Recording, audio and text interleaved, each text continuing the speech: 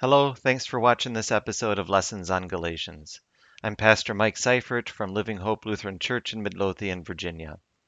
In our last lesson, we used contextual clues from the letter of Galatians itself and from the book of Acts to, to identify the original recipients of this letter as formerly pagan Gentile Christians in or around congregations Paul had founded on his first missionary journey in the Roman province of Galatia.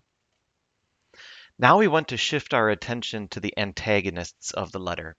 We'll call them the rivals. They were actively undermining Paul's work and therefore also the Galatians' faith in Jesus. Not in outwardly hostile or violent ways like the persecution Paul had experienced on his first missionary journey.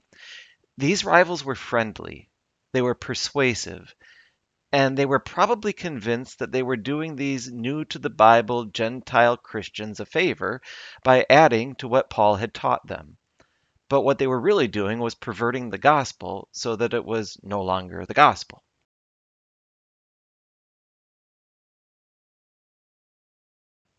The threat this posed to the Galatian Christians was so serious that Paul refused to pull any punches with his words. As an example, he said to the Galatian Christians, You who are trying to be justified by law have been alienated from Christ, you have fallen away from grace. In regard to the rivals, he wrote, I wish they would go the whole way and emasculate themselves.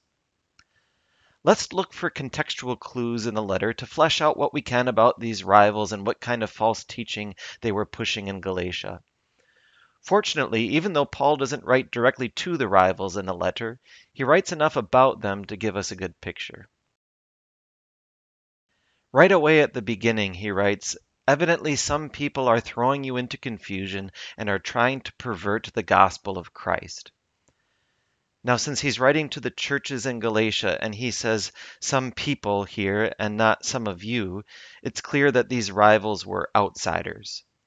They may or may not have been from the province of Galatia, but they were not members of the Galatian churches. Going over to chapter 5, we can see these outsiders were pushing circumcision on the Galatians, which would most certainly make them Jewish. So, at the very least, these rivals were Jewish outsiders who were pushing circumcision on the Galatian Christians.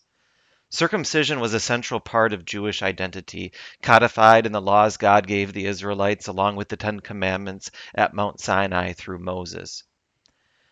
So now the question is was circumcision the only part of Jewish law that they were promoting?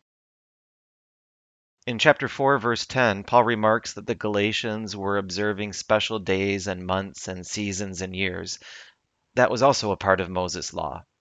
Think the Sabbath day, new moon celebrations, the Passover, the year of Jubilee. These rivals were promoting the whole Old Testament code.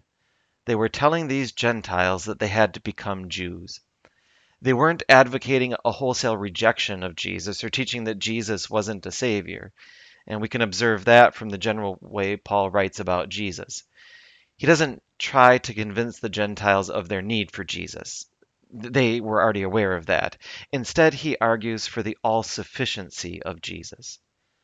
The Galatians don't need to become Jewish or observe Jewish law in order to receive salvation through Christ. Salvation doesn't come from faith in Jesus plus obedience to Jewish law or any other law. It comes solely through faith in Jesus.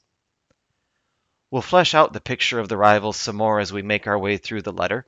But for now, let's picture Jewish Christians, or at least nominally Christian, who came among the formerly pagan Gentile Christians in Galatia and were trying to change or expand Paul's message from Jesus only to Jesus plus obedience to Jewish law. Paul has zero tolerance for this false teaching. You who are trying to be justified by law have been alienated from Christ. You have fallen away from grace.